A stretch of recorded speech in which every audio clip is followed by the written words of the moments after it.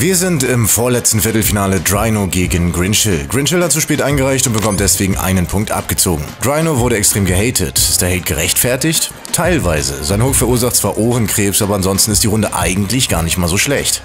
Die Videos von beiden sind überdurchschnittlich gut. Drino hat sogar ein echt brauchbares Grinchill-Double aufgetrieben. Fantastisch. Auch wenn er in seinem Video aussieht wie ein Heroin-Junkie, der sich am Bahnhof für den nächsten Schuss prostituiert, wurde sich hier trotzdem richtig Mühe gegeben, mit Grinchill videotechnisch mitzuficken. Punkt für beide. Flow. Die Runde von Grinchill kann man sich sehr viel besser geben als die von Drino. Grinchill macht neben seinen diesmal vorhandenen Punchlines einfach gute Musik. Drino geht zwar mehr in die Fresse, aber ist an manchen Stellen etwas holprig. Grinch float viel flüssiger und bekommt den Flowpunkt. Technisch sehe ich Grinchill leicht vorne. Am besten fand ich Wack MC auf Leckerli und Pedigree. Punkt für Grinchill. Punchlines. Drino bringt direkt am Anfang ein schönes Wortspiel mit Gegnerbezug. Er meint, Grinchill wäre eine geschminkte Pussy wie Lion King Statisten. Löwen sind Raubkatzen und Katzen bezeichnet man auch als Pussys. Wundervoll.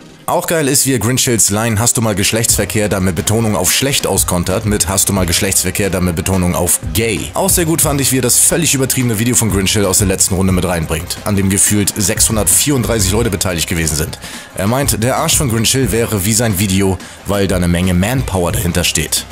Schön selbstironisch greift er auch den durch seine Frisur inspirierten Pudel-Contest auf. Du bist beschissen, hab ich den Pudel-Contest gewonnen oder warum gibt mir Julie ne Bitch zum Ficken?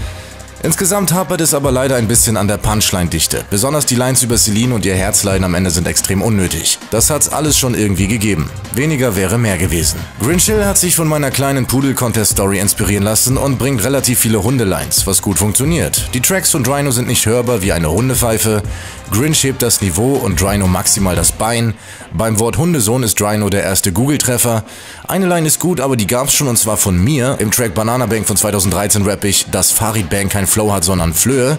Also völlig übermenschliche Line, aber kommt mir etwas zu bekannt vor. Aber seine Leckerli-Line ist auch fabelhaft. Mit Rhino, du lächerlicher Wack MC. Der Schwänze kaut, als wären's ein Leckerli vom Pedigree. 2 zu 1 für Grinchill bei Punchlines. Grinchills Runde gab es aufgrund von der Verspätung nicht bei iTunes und so weiter, aber User Voting geht trotzdem an ihn. Extra Punkt. Die Runde von Grinchill hat ein besseres Soundbild und ist insgesamt runder. Ich würde zwar echt gerne mal eine Runde sehen, wo ich drei Punkte für Punchlines geben kann.